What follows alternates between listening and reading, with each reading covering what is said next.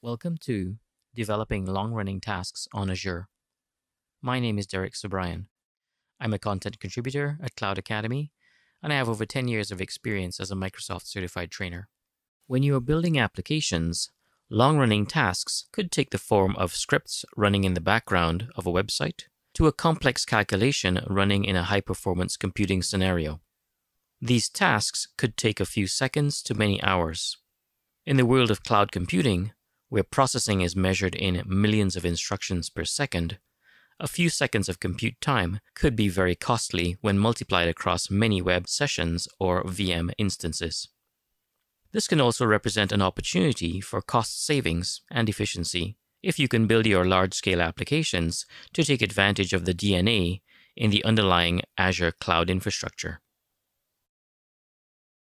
We will be covering four key features of Azure that you can use to deal with long running tasks on Azure.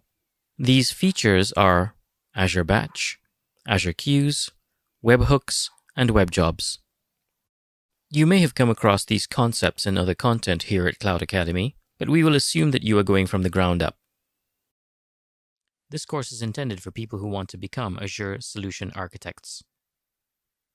By the end of this course, you should be able to understand and apply these four Azure features to solve some of the challenges you'll face with long running tasks, especially in high performance computing applications. Now, if you're ready to learn how to use these Azure tools, then let's get started.